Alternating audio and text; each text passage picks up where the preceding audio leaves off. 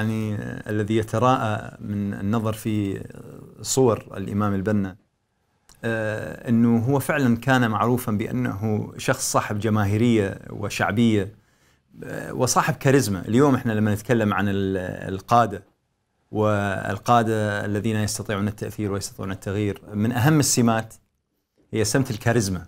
هذه شخص هذه قضية لا تصنع صناعة، إنما هي جبلة كما يقال.